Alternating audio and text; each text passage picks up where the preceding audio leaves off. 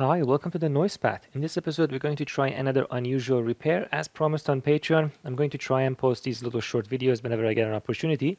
This is a Torbal AD60 precision scale. It has a maximum weight measurement capability of 60 grams and 1 milligram of resolution. It was sold as is without any power adapter and it was quite inexpensive so I couldn't resist passing on. So let's go ahead and plug it in and see what it does. The back of the unit has an RS-232 port, a USB port. This little bubble balance is very important for these things to be completely flat, and a 12 volt supply center positive. Should be easy to plug something in there. Alright, let's try turning it on. It does seem to turn on, it displays that. I don't know what that is, probably some firmware revision perhaps and let's see and it just says unload. So it's interesting every couple of times when I turn it on it actually does show something. Now this unload is apparently indicating that it thinks that there is a weight on this that it wants you to remove so that it can boot and essentially zero itself out. And it can't do that. Now sometimes when I turn it on and off and I press some of these buttons in random successions it kind of gets out of that mode. There you go. So you get this which you know seems to be good. But then the measurements don't make sense like if I press and I let go, you know, it stays at some weird number. So there's definitely something wrong with it. It's worthwhile taking it apart. And these two dots apparently also mean that it thinks that there is a weight in there and it cannot zero itself out. So clearly some issue internally. And here's the internal structure of this precision scale. I've always really liked these kind of mechanical designs because of the intricate equilibrium between the different weights and movements and how they're connected. They're essentially translating movements by very precise amounts so that you can get these tiny sensors to measure what is a very, very fine change in movement. And here's the design of this one. And you can see there are two sensors in here. There's one over here, which is an optical sensor clearly between these two sides. And there's one on the other side with a very neat connection, which I will show you next. A whole bunch of screws and so on, which you really don't want to touch. Otherwise, this whole thing will be out of calibration.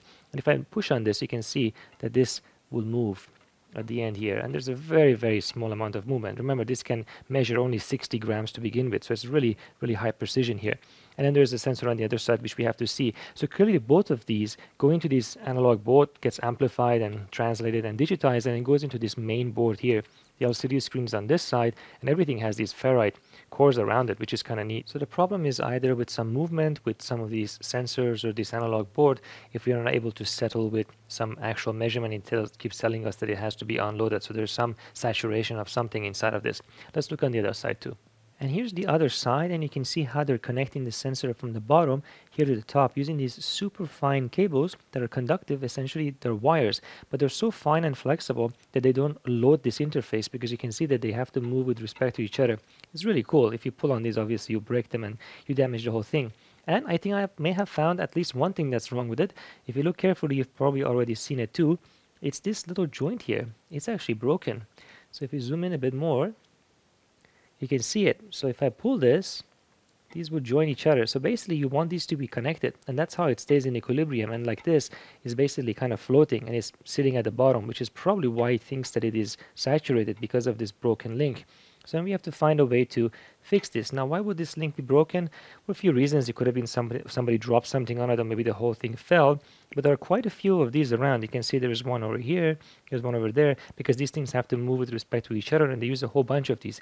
I don't know what this is made of, but it's very thin. So maybe we could just uh, find something else and cut it to this shape and replace it. So here's my attempt at fixing this piece. I explored a couple of different options and I thought that perhaps patching it is the best way. This is a lot more intricate than it seems on the surface. For example, if you look at its profile, you can see how thin some regions of it are, and that's because it's supposed to flex in those places. And this looks like that it's been done with some machining, that they've machined these areas thinner, and this was essentially one stamped piece originally. So I drilled two tiny holes there so that solder can flow, and I put a piece of nickel on it, and I soldered it, and I flattened it as much as I could. And it is roughly the you know the right shape and right size.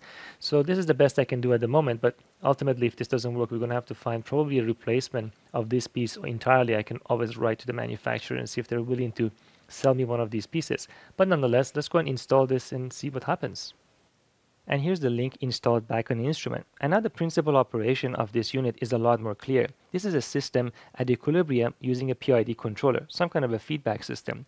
These two wires most likely go into an electromagnet. That electromagnet can move this platform a tiny amount but as we saw on the other side, there's an optical sensor and there's a lever that amplifies that movement.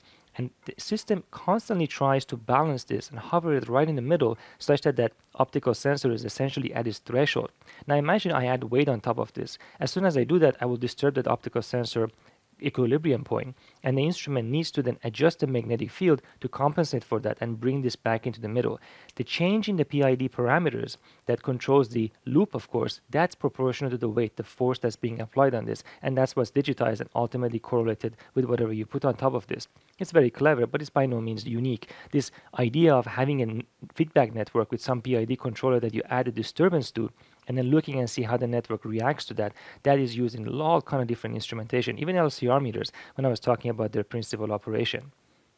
Now, in this type of precision scales, you're relying on this movement and achieving this equilibrium, and you're not using something like a strain gauge. Strain gauges are great because they have very, very little movement and they can measure extremely high forces, but they're not very good at measuring extremely small changes in force, very small weights. This is excellent at that. It can measure tiny amounts. There are scales that can measure even below this.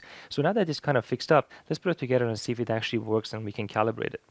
There we go, we're reading zero, which is nice. I have a couple of weights over here. We can quickly try out the scale. So here's a 50 gram weight. See what we get.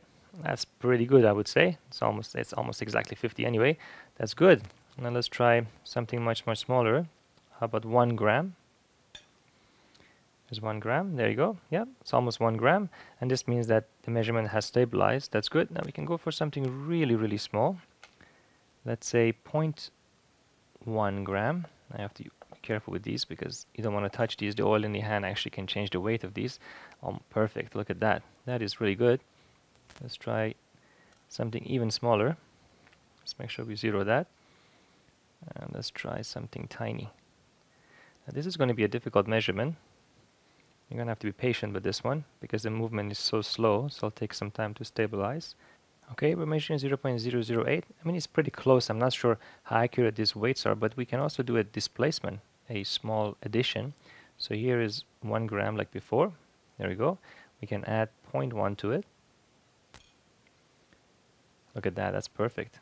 That's really great. And we can add this last piece on top of that. Let's see if we can catch it. It's trying. There you go. I mean, that's pretty amazing. Let's see if we can capture the evaporation of something like acetone that evaporates readily in the atmosphere at room temperature. So I have a container there. We're going to tare that. So we go to zero. And I have a syringe here with some acetone in it. Let's pour it into this container. There we go. Now let's wait and see what happens. There you go, about 1.2 grams.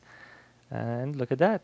It's slowly evaporating because we're measuring one milligram at a time and acetone will evaporate fairly quickly, look at that, it's going down continuously. It's pretty amazing to see what is essentially almost invisible to the eye. You'd have to wait for a while to notice that it is reducing in volume, but yeah, it's going pretty fast. And there you have it. I hope you enjoyed this quick video. I want to thank all the supporters of the channel, whether it's on Patreon or PayPal. You really make all these things possible. And I will try to do more of these quick repairs around the lab. Let me know what you think in the comment section. See you next time.